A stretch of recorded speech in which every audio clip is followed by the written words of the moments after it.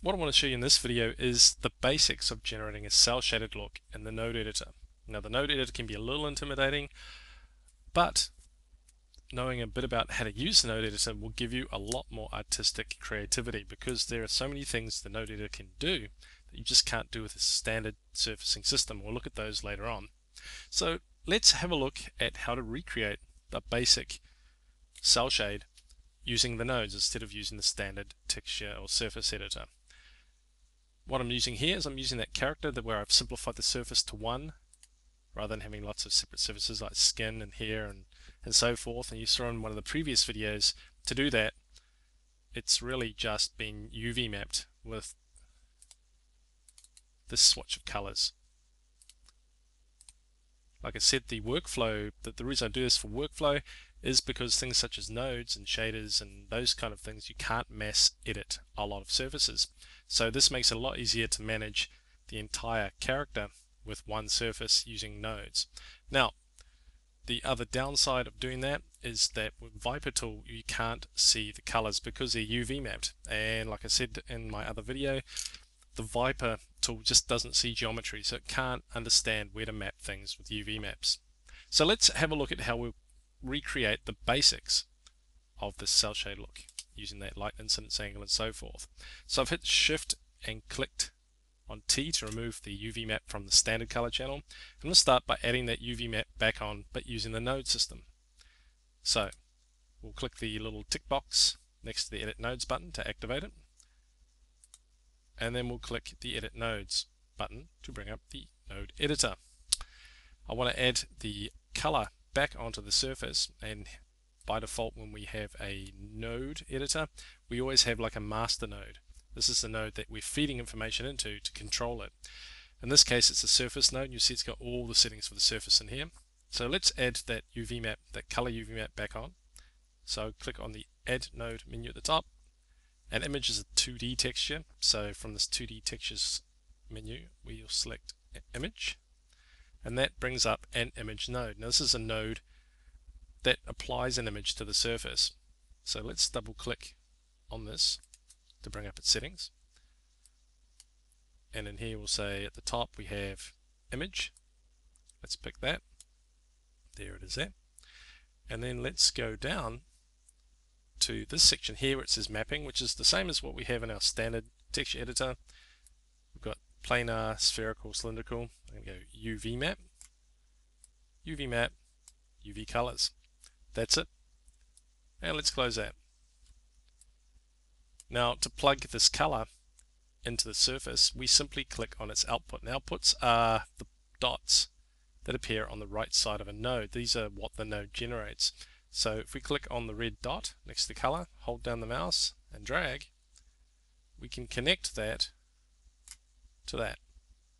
Now it goes black because like I said, the Viper tool doesn't know how to map colors onto a UV map because it doesn't see the geometry information.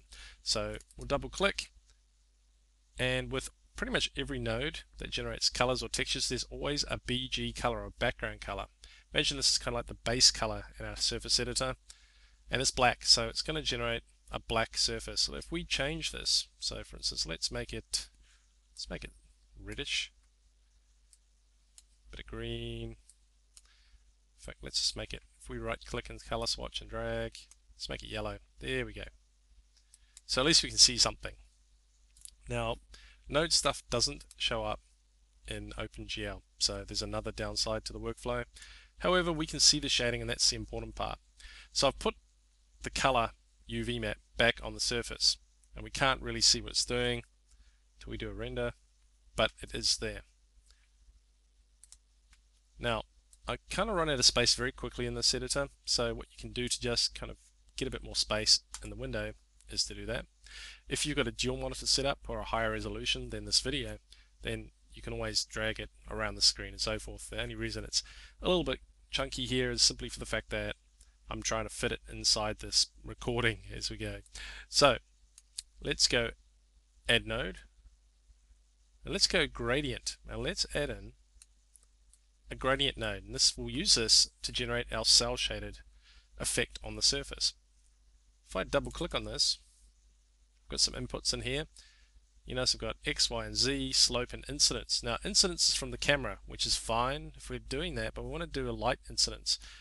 You notice that the inputs are very limited, so what we need to do with the node editor is we need to calculate the light incidence angle and plug it into the input. So we can input or feed anything into a gradient, which is, makes it a little more powerful than what we have in the layered system. So let's get the light incidence angle to the surface to do it, it's a little more it's a little more complicated because you have to do it with a lot more steps and that's what probably confuses people nodes. It's almost like in a way a technical programmy structural sort of layout. Now there's a couple of ways we can do it. One is the really easy way. Now let's do it the easy way to begin with. Add node, layers, and scalar layer.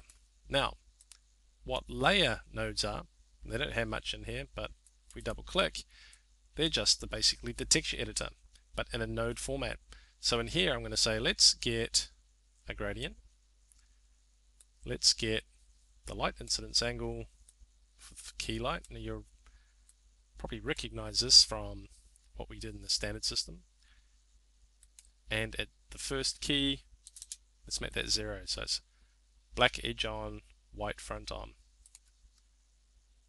Now we could just plug this directly into luminosity if we wanted to, which is probably the easy way of doing it. The only downside with this is we don't really have we don't really have a lot of flexibility once we've used this. And if we wanted to control different aspects of the gradient and how it works and everything else, then we're back, might as well just be doing in the standard surface system. So what I'm going to do is use this just for calculating the light incidence angle. It's the quick and dirty easy way. There's another way and I'll share that later. But I'm going to grab scalar and I'm going to plug it into input. So I'm going to use this to just feed black to white for the shading. And then in this gradient, this is the node-based gradient. You know, set the inputs now grayed out. It's because it's being controlled here.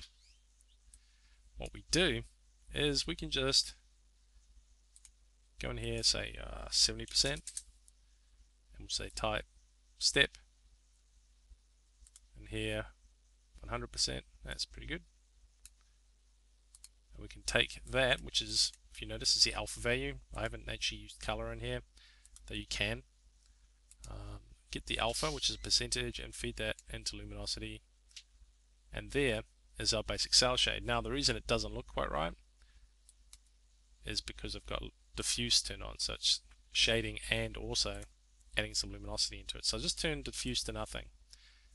So there's the quick, we can kind of crunch those down a bit by just clicking on that widget at the top just to hide all the settings.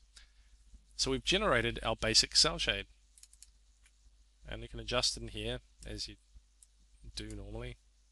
You can always add another key in here, change this one to uh, 80 with that step as well. It's going to have a three band if we wanted to. Okay, so you can do all the same things that we were doing with the standard system, but this time using nodes. And click close that. Now it's a little hard to tell because of course we can't see the colors, so if we do a quick test render with the F9 key, you can see we're back to what we had with the other system. So nodes-based uh, effects such as that aren't actually that hard to do. So there's some real basics to get you started.